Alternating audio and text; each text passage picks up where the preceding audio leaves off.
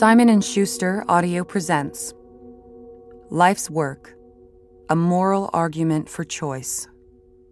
Written by Dr. Willie Parker with Lisa Miller. Read by Caz Harleaux.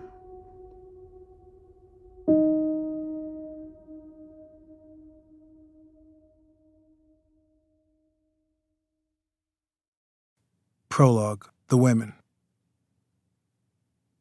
At 6:30 a.m. on procedure day, the abortion clinic waiting room at Reproductive Health Services in Montgomery, Alabama, is as hushed as a church. Inside, beyond the bulletproof doors, the women are waiting for me, occupying every vinyl covered chair occasionally perched on windowsills. 25, 30, as many as 50 women sometimes. When I pass through the room in my street clothes, the uniform of sweats, baseball cap, and prescription shades that allows me to hide in plain sight, most of them won't even look up. But occasionally a woman will have heard of me, the nice black doctor at this clinic, and she'll meet my eyes and smile. She may believe that I'm going to get her through this, whatever this means to her, and hope that by making contact, with a glance, that she will show me that she's an individual with a story and reasons and dreams of her own. I am here in this crowded abortion clinic in Alabama or Mississippi or Georgia, where I also work, to provide abortions for women because they say they need them. I am a Christian, raised in churches right here in the South, in Birmingham, an hour plus drive from Montgomery. In the black churches of my childhood, an unplanned pregnancy was reason enough for a public shaming or even expulsion from church ministry. A girl who became accidentally pregnant might be forced to stand up before the congregation on a Sunday morning and beg forgiveness for her sins while the equally sexually curious boy who helped get her pregnant sat with his brothers and sisters in Christ in judgment of her. Unbeknownst to me, the women in the churches of my youth must have sometimes had abortions. Of course they did, legally or illegally, but no one ever spoke of them. This was the Christianity I grew up in, and it has taken me decades of emotional, spiritual, and intellectual wrestling with my conscience and with my world to get to the place where I am now. I remain a follower of Jesus, and I believe that as an abortion provider, I am doing God's work. I am protecting women's rights, their human right to decide their futures for themselves and to live their lives as they see fit. Today, as I write this, access to safe and compassionate abortion care is under unprecedented threat, most often from people who call themselves Christians.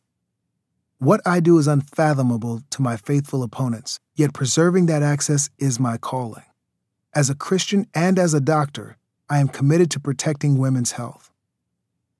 This moral understanding came to me slowly, but it started to coalesce more than a dozen years ago when I had what I call my come to Jesus moment around the subject of abortion. From childhood, I had long inferred that abortions were wrong, and for the first half of my career as an OBGYN, I refused to perform them. But as I matured in both my faith and my profession, I found I was increasingly at odds with myself, an inner conflict that sat uncomfortably with me. I had never questioned women's individual choices, but until I found clarity and certainty around the abortion issue, what I call the head heart connection, I recused myself as a practitioner from the fight. Since achieving that clarity of mind and fullness of heart that liberated my understanding around this work, my passion for it has doubled. I have been working as an abortion provider for more than a dozen years with increasing energy and focus. I moved back to my hometown of Birmingham to care for women living in communities like the one in which I was raised. Some of my patients, poor and black, might easily be one of my three sisters, or a cousin, or an aunt. Others might be anyone you, your niece, your daughter, your mother, or your best friend. Many are women with some means, in the middle and upwardly mobile classes. Some of my patients have formulated strong political opinions about abortion, but more have not, and merely walk through my doors because they're doing what they deem necessary for themselves. I do this work in the context of a ramped up national crusade against it, one that promises, with a Republican president and Congress, to intensify. Calls from the antis to overturn Roe, to repeal the Affordable Care Act, and to defund Planned Parenthood are growing ever louder. Each one of these backward moves will not only restrict women's access to safe, affordable abortion care, but will diminish women's access to good health care in general, putting their lives and the lives of their children at risk. And poor women and women of color will bear the brunt of this political posturing by ideologues, as they always do. Already, I have consciously put myself on the front lines. Since 2010, when right wing extremists swept the nation's state houses and legislatures, more than 300 state laws have been passed aimed at restricting access to abortion, despite the fact that it is legal. In 27 states, women are now forced to wait one, two, or even three days between receiving mandatory counseling, which often contains bogus information, and obtaining an abortion, a barrier that puts undue burden on working women, women with children, and women who live in rural areas, requiring them to take time off and spend additional money to travel back and forth to a clinic that may be 200 miles from home. 14 states since 2010 have banned procedures after 20 weeks, a violation of Roe. 37 states have circumscribed medication abortion, placing limits on patients' access to the FDA approved pill that ends pregnancy in its early phases and more than two dozen states have taken aim at the daily operations of the clinics themselves, placing irrational hurdles in their way with the motive of shutting them down. These laws have had the desired effect. Since 2011, more than 160 abortion clinics have closed. These laws have been passed so invisibly, so incrementally, that few have even noticed them. But they are affecting the real futures of real women by forcing them into lives they did not choose. I think of the 21 year old woman I saw in the only open clinic in Mississippi in 2013. Born and raised in the Delta, she was home for the summer, having graduated from a Division I university where she studied on an athletic scholarship, and she was on her way to law school. Finding herself seven weeks pregnant, she sought my care, and I did her abortion without complication. Talking with her, I saw how clearly she saw her life. She was on the precipice, about to write a new story for herself. She would not be another dirt poor single mother. She would live in a world of limitless possibilities, which she would create with her law degree. I sensed in her no flinching, no hesitancy, no reservation about her abortion decision. All her life, this woman had been making decisions with her future in mind, and when I saw how consequential this one was to her, my resolve to do this work increased.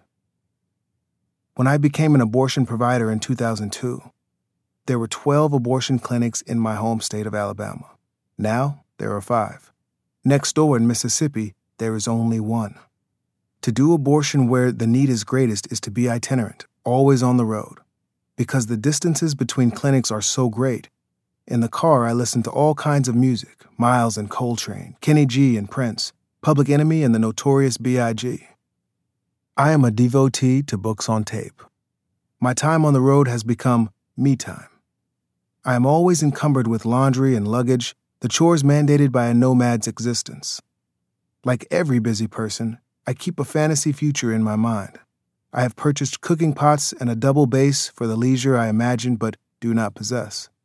Instead, I fill the gaps in my schedule with my other vocation speaking engagements, and board meetings, traveling the country like a 21st century St. Paul, preaching the truth about reproductive rights, because I have come to see that I'm the one, as the old saying goes, that I've been waiting for. As I drive long miles, I become contemplative, and I reflect on my heroes Martin Luther King Jr., Malcolm X, Sojourner Truth, and Harriet Tubman, exemplars who carried the lives and aspirations of a whole people on their backs. My five brothers and sisters tell me they worry for my life, and I hear their concern. I understand that my commitment to this work puts me at risk. Eleven people, including four doctors, have since the passage of Roe v. Wade in 1973 been assassinated for this work, killed in cold blood for the so called sin of providing safe and legal health care for women. Rationally, I know this, but I reiterate to my siblings and my concerned friends my vow I refuse to give in to fear. The truth is, I am more afraid of living a life of cowardice, of allowing my anxiety over prospective harm to keep me from my convictions. I can live with the awareness that someone might harm me. I am not so sure that I am brave enough to live with the awareness that I was too afraid to do what I knew to be right.